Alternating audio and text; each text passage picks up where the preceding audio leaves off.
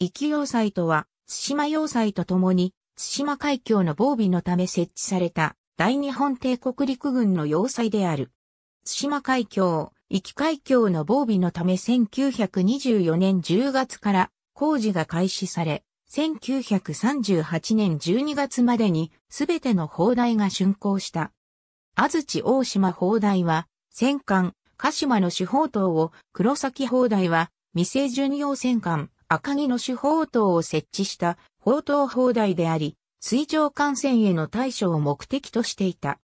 また、主に潜水艦の浮上襲撃への対処を目的として、メーカラス島、オロノ島、渡り領大島の各砲台には45式15センチメートルカノン砲が、行き付き砲台には96式15センチメートルカノン砲が設置された。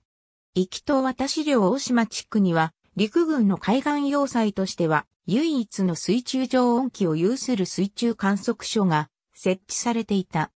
1939年3月10日時点の人員は戦闘員28名、非戦闘員23名で、他に馬が3匹いた。黒崎砲台跡壱岐要塞司令部、父並工事少将。ありがとうございます。